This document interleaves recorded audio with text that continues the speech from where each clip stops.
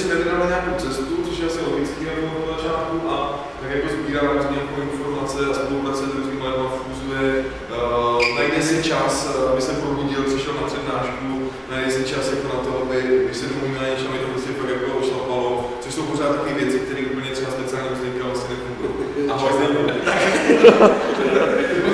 tak to je moc magio a všechno se to má vlastně nebo. Tak všem děkuji ještě, že jste všichni přišli takhle a moc to vydržím pomoci samozřejmě. Tak já se zkusím navázat na nějaký to, tady to jako vyčerpávající intro. Vlastně ta přednáška bude o cestě, protože sám sebe vnímám přesně jako tak nezávazně. Na mě řekl Petr, že jsem na cestě. A vlastně i začátek této přednášky, který je Magio Works Now, asi ilustruje ten můj vztah té práci, protože myslím, že mám to štěstí, že s tou prací se bavím a že dělám to, co mě baví. Takže vlastně i teď pracuju a i když jako nepracuju v tom smyslu, že bych fakt sázel nějaký písmena někam, ale to pracování je to, že když člověk přemýšlí, když spí vlastně a i když někde jde, nebo je někde úplně venku třeba, tak je hora. Takže ta práce je široký pojem. A ty hory tam nejsou náhodou, tohle předůří Alpský hilomit. A já jsem tady vyběhl na takový kopec, asi do dvou a půl tisíce metrů s notebookem a ten slide je pro mě příznačný celkem v několika rovinách, protože jednak je tady téma té cesty, uh, jednak je tady téma skloubení technologie a přírody a jednak je tady téma náhody. Já si myslím, že všechny tady ty tři roviny se jako ve mně protínají a protínají se v týmní práci a ovlivnily jako několik věcí, které tu práci dál nastartovaly. Já jsem se k grafickému designu dostal tady tím způsobem. Já jsem v roce asi 96 nebo 97, když mi bylo takových 13 let, chodil po ulicích a vnímal jsem to, co na těch ulicích je nakreslenýho. Čili dostal jsem se k, graf- k graffiti a to byl pro mě vlastně nějaký první kontakt s písmenama a vůbec jako se, s nějakým vizuálním způsobem. Ze skit jsem se dostal uh, na zeď na nějaký rok 2002, nějakých 18 let. A to graffiti, když se člověk vlastně odprostí od té formy, ať už je jakákoliv, uh, mě naučilo to, že člověk uh, se zase vlastně baví tou věcí, zároveň něco produkujete a se vrátím k tomuto slajdu. A to graffiti je vlastně soutěž. A tohle téma si myslím, že je důležitý dále pro grafický design, protože, protože jste pořád v neustálé soutěži a musíte se uh, nějakým způsobem pořád snažit o to, abyste se prosadili a abyste měli, uh, měli co říct. Když takhle soutěžíte, tak se prostě občas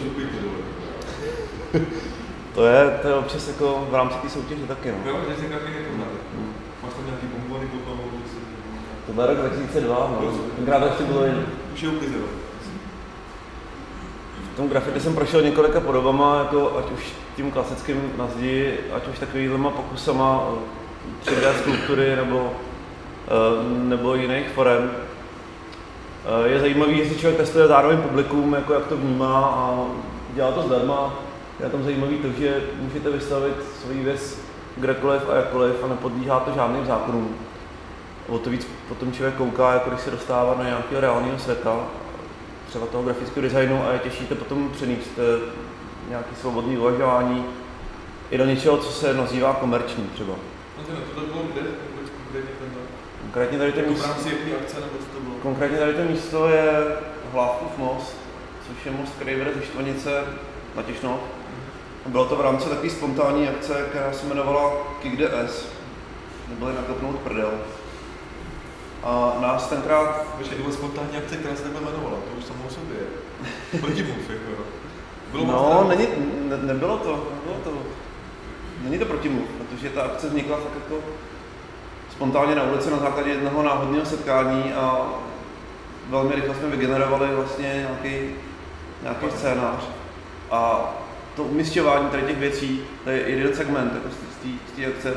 Eh, Bylo nás víc jako zahrnutých, slidy tady neuka- neukazuju. A rozmistěvali jsme ty věci spontánně a celkem spontánně ty věci vznikaly.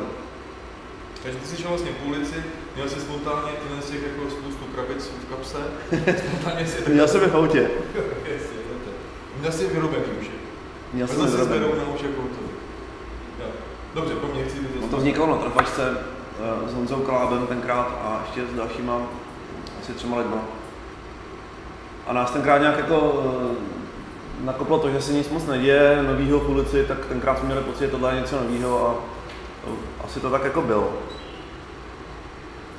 Eh, Tady to je mm, ukázka z Name Festu, což byl festival graffiti a street artu asi eh, 2008, to je před kolika, před pěti, před šesti lety už dokonce. A tady ta forma vlastně už ani není graffiti, je to spíš nějaký kontakt jako s městem a vnímání jeho struktur. A tohle už je vlastně jenom natírání jednotlivých segmentů a používání vlastně toho města jenom, jenom jako komunikačního prvku. Je tam to asi důležitá osoba pro tebe. Je tam důležitá osoba pro mě, tamhle ten člověk, který je v levém horním obrázku, je můj bratr, můj brácha. Uh, to je na dlouhý povídání, ale vlastně spolupracujeme ještě doteď nějakýma věcma, když nás jako uh, životní cesty postupně trošičku oddělujou, ale jsem rád, že se potkáváme a doufám, že se potkávat budeme. Tak tohle bylo takový intro vlastně, jak jsem začal a jak jsem začal vnímat veřejný prostor a nějakou tvorbu v něm. Tohle je FamuFest, eh, vizuální styl festivalu na FAMu v roce 2008, který jsem dělal s Terezou Hejmovou. Vlastně ta spolupráce vznikla tady, v tomto ateliéru, což je možná zpráva eh, dál, že je dobrý, když se tady lidi potkají a něco vzniká dál, prostě celkem přirozeně. A my jsme tenkrát,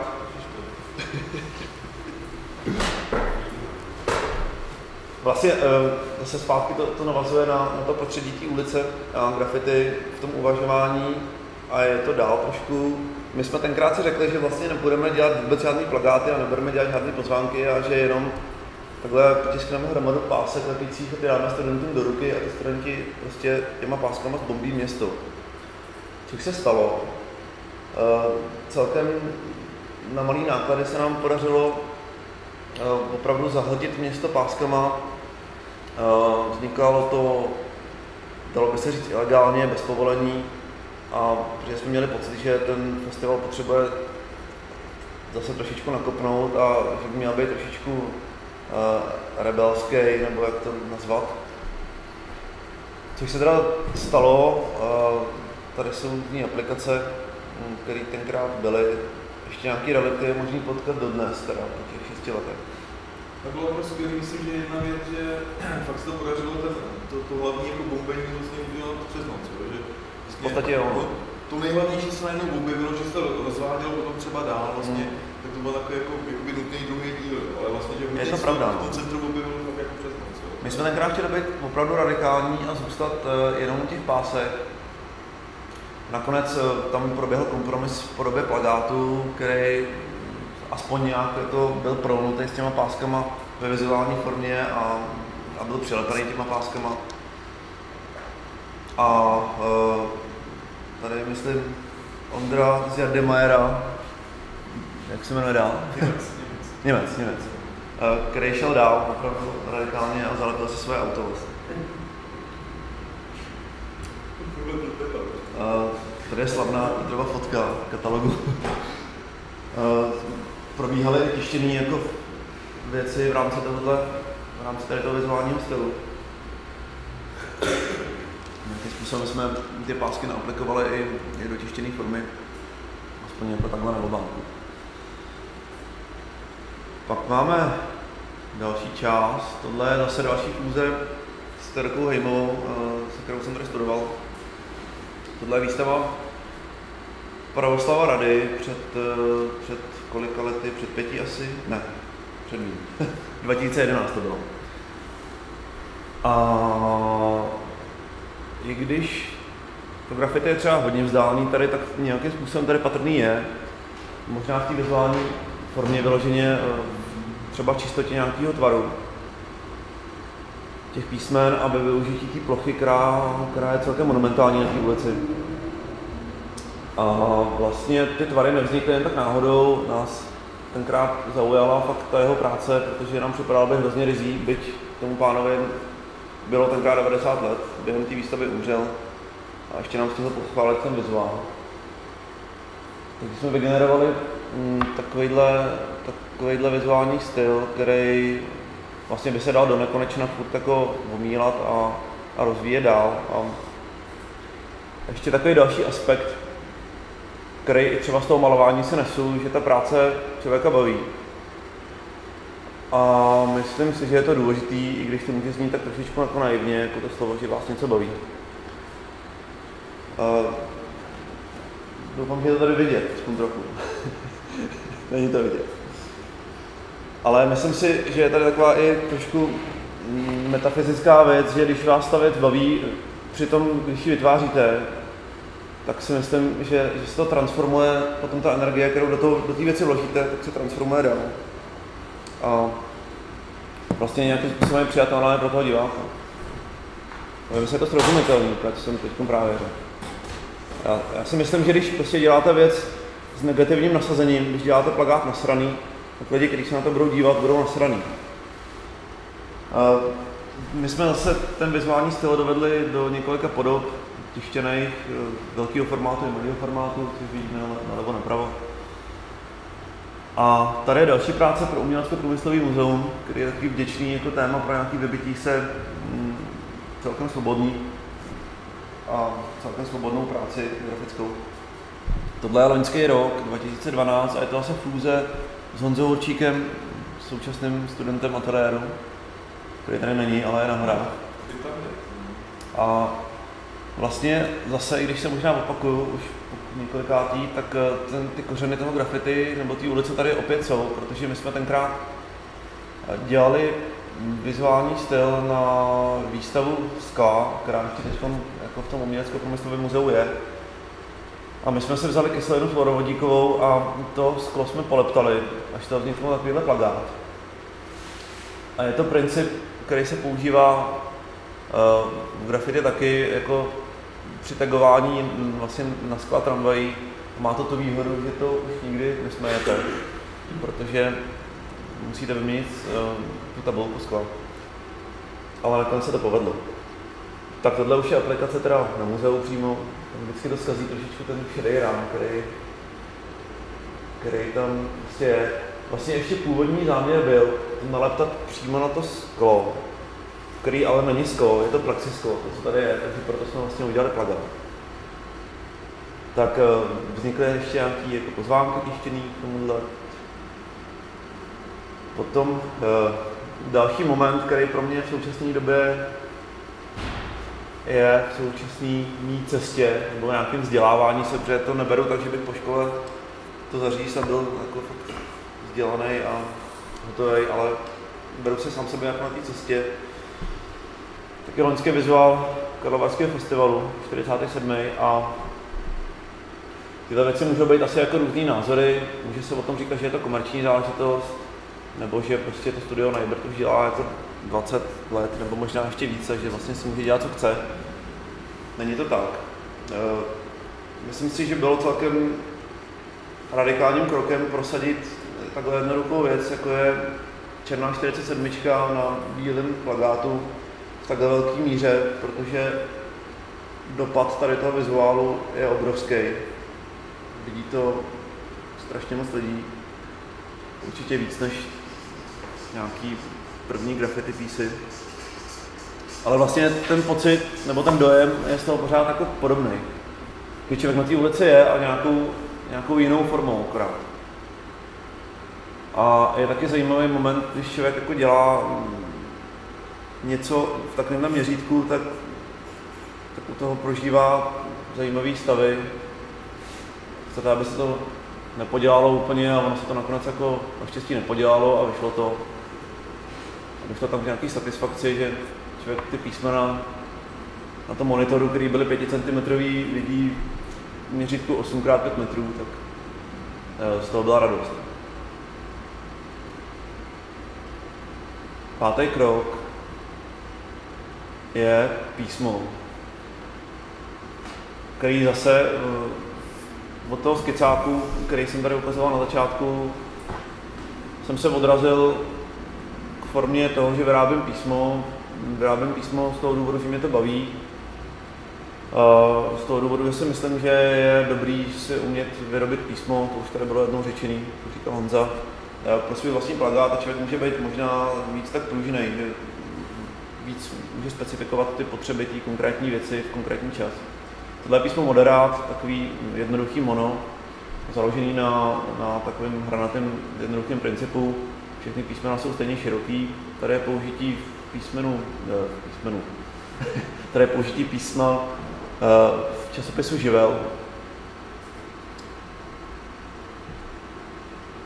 třeba je zajímavé, že to písmo, byť je takový robotický a je to mono, tak funguje celkem organicky a dá se to číst, což pro mě bylo překvapení, protože to byl jeden z mých prvních fontů. Tohle je písmo Trafit, jeden z prvních grotesků, který jsem dělal.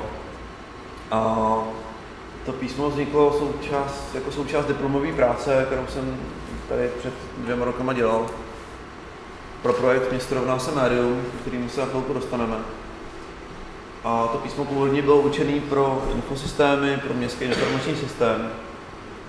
A já jsem mm, do toho písma chtěl vložit nějaké jako další věci, takže jsem vygeneroval asi 560 znaků, glyfů, které jsou programovatelné. Můžete si tam navolit různé stylistické sady a mm, to písmo je vlastně takový už drobný software,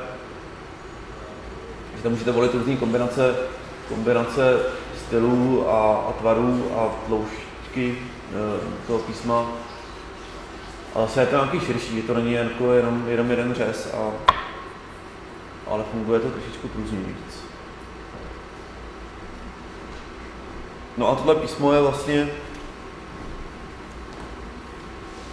jeden ze součástí tady těch čtyřech emek, když jste možná viděli nebo jste o nich slyšeli aspoň něco.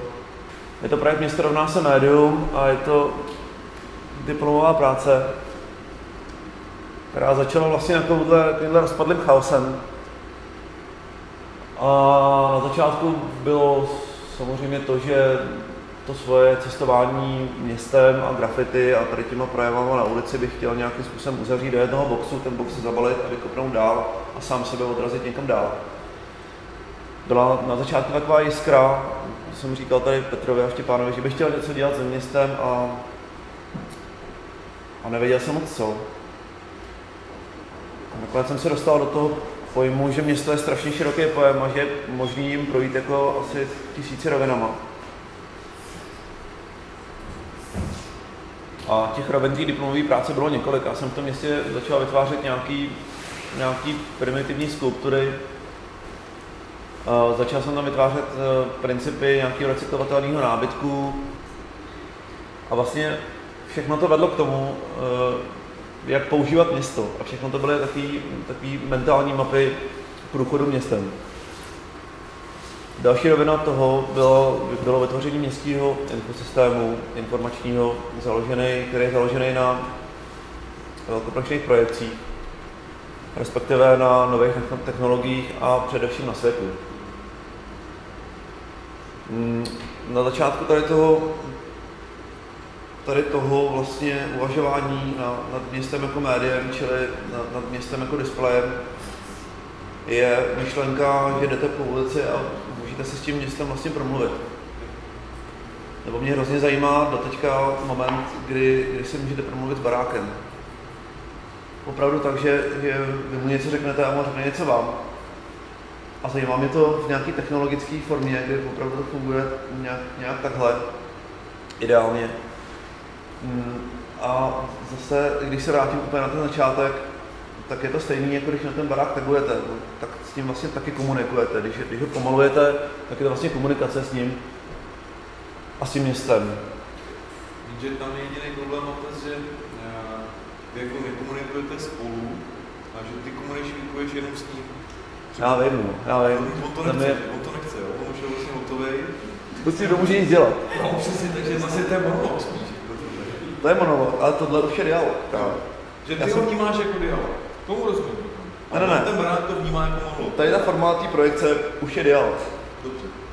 Jo, že ten barák vyzařuje, vlastně komunikuje to, co je v něm. Tohle je nová scéna. A v tady tom případě ten barák vlastně říká, co se v něm děje. Popisuje tady, popisuje tady představení jednotlivých uh, jízdních řád těch představení. Nebo ten informační systém vlastně má několik podob. V základu teda jde o, to, o tu komunikaci a ještě jde o oživení vlastně temných míst s tím, že se jim dává nějaká jiná hodnota.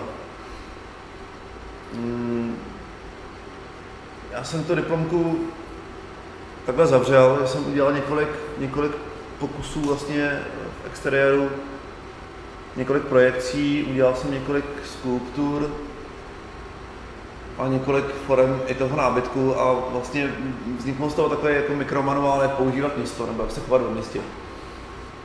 Já jsem to nasázal do formy knížky, kterou jsem původně tady chtěl, chtěl vydat, chtěl jsem to ještě stihnout jako to diplomku a mít těch tady prostě nasázených třeba tisíc. Nedopadlo to, protože tenkrát na to nebyly peníze a měl jsem pocit, že ta věc prostě není hotová. Já jsem nechtěl, aby, ta, aby to skončilo tím, že prostě v červnu jste hotový ze školy a vlastně diplomka je hotová, chtěl jsem, aby to žilo dál. To jsem si dal jako za úkol už od začátku, že ta věc bude hotová ve chvíli, kdy to bude fungovat. Spojil jsem se s Vladimírem PC18, vlastně taky náhodou. Uh, jsme se na cestě potkali a rozhodli jsme se tady tu věc, věc posunout dál do roviny fakt tištěné knihy. Což se ve finále povedlo a vedla k tomu, k tomu cesta toho, že jsme tu věc přepracovali. Vykuchali jsme ten původní obsah a zůstalo, zůstaly z toho ty projekce. Rozhodli jsme se to podpořit teorií, rozhodli jsme se to podpořit uh, historií toho světelného designu ve městě a rozhodli jsme se to vytvořit, podpořit ještě vlastními vstupama, který jsme vytvořili speciálně pro tu knihu. Já jsem samozřejmě navázal na ten informační systém svůj uh, i na ten podzim, kdy jsme měli možnost uh, mít trošičku lepší techniku. Měli jsme projektor asi um, o luminescenci 10 000 anci, což už celkem funguje na té ulici. Proskoušeli jsme zase možnosti toho, jak se to světlo a informace chová takhle na ulici a jak to funguje, jak to působí na veřejnost. Je zajímavé to, že i když se člověk s někým setkal na té ulici, tak to vesměs bylo vnímané kladně. I vzhledem k tomu, že pro ty projekce jsou vybrané místa, které jsou, které jsou taky trashový nebo, nebo temný a za normálních okolností člověk jejich devizu jako nevnímá. Říkám, jako bonus eh, se člověk stal grafikem někdy, někdy v říjnu a tohle už jsou náhledy z plotrů, kdy jsem jezdil Myslím si, že skoro každou půlnoc do tiskárny, jeden týden. A vždycky tam člověk našel nějakou chybu v, tom, v těch plotrech, takže znova se posílaly data. Tady to byl moment, když jsme měli vlastně úplně všechno hotové, nashromážděné, měli jsme všechny texty obtelefonovaný, všechny lidi, vytvořený všechny vstupy, za sebou hromadu produkčních prací, neprospaných nocí a, a i doufání toho, že ta věc vůbec vyjde a že lidi o to budou mít zájem, tak jsme vytiskli všechny stránky a už se tisknu jenom mobile a já jsem v posledním momentu zjistil, že na tom mobilu je zásadní chyba eh, v českém textu, takže jsme to museli zase schodit a zase prodloužit o něco. Ale nakonec to dopadlo takhle, že ta kniha je vytištěná a, a v momentě, když tohle člověk drží v ruce, tak uh, má skoro slzy v očích, protože po tom půl roce intenzivním se z toho stane takováhle bílá peklička, která váží dvě kila. Ani ne. Tu si asi přiznám. A mm, my jsme tu věc dotáhli do maxima i v té propagaci. Slovo propagace může znít jakkoliv eh, kyselé, nicméně si myslím, že i v tom našem oboru je to důležitý. Rozhodli jsme se k té knížce udělat křest, protože jsme nechtěli, aby zapadla úplně pod pult. Udělali jsme křest v Roxy, který byl audiovizuální, Zahostoval nám tam i David Vrbík, který tady právě dělal workshop. Snažili jsme tady zase vytvořit speciální projekce a speciální, speciální vstupy pro to. Knihu nám pustil mm, Krištof Kintera, což je zásadní ikona mm, vlastně nějakého, nějakého tvoření ve veřejném prostoru. A tím se tady ta celá věc nezavřela pro mě. Protože teď jsme ve fázi, kdy je hotová knížka, je hotový nějaký základ, ale pořád ten projekt není hotový, protože pořád eh, ten infosystém ještě nefunguje a já se teď snažím vyvíjet eh, a hledat možnosti, jak tenhle infosystém zrealizovat. Mě by zajímaly věci, když se využívá město jako proud vlastně jako mlejn využívá vodu, tak eh, to město je taky takový, lidi prostě někam pořád chodí a to může způsobovat, může kreslit třeba obrazy různý.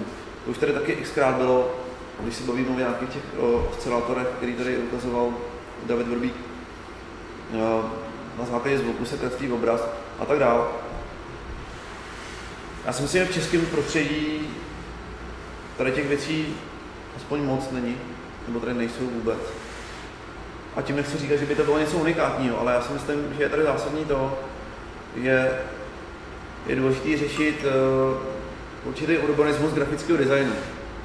A když se bavím teda o Čechách, tak si myslím, že to tady asi není, jako když řeknu takhle.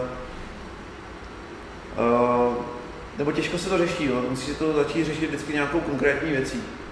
Tady je obecně nadvláda plotrů a věcí, které generují prostě levný studia. A neříkám, že je to špatně, to je jenom konstatování, to je fakt, který tak je. A možná i proto veřejnost vnímá určitou vizualitu té ulice z toho důvodu takhle, že takhle je to třeba správně. Myslím si, že když začnou vznikat věci ve veřejném prostoru takzvaně zdarma pro lidi, že nebudou muset chodit do galerii, třeba nebudou muset si uh, číst nějaký typ časopisy, tak se ta společnost dá určitým způsobem vzdělat. A to nemyslím, že bych chtěl někomu něco tlačit, ale že to prostě je ve vzduchu. No, souhlas, tak to je takový výjimky jako na já jsem, já. Jo, já vám to moc děkuji, samozřejmě, to jsem říkal na začátku, že to je, že to je energie vlastně z mého pohledu úplně správný vlastně směrem, je úplně bez, bez debat, vlastně tyto diskuze tě nemůžou někam srazit na kolena, že zlepneš jako... Mě už ty věci spíš obohacují, jako, a rád, rád se s lidma na tyto témata bavím, protože protože už od začátku, od začátku, co nějaké věci dělám, vím, že, uh, že vždycky to lidi mají rádi a nemají zároveň, jako, že, že, to nikdy není tak, že by člověk udělal něco a bude se to líbit všem a byl všem jako za, za dobře. No to bych ti moc přál, ale to se pak neděje. To se neděje a, a je to dobře, že se to neděje. Že nás prostě... Ne, mi se to líbilo, strašně líbilo. Dobře, tak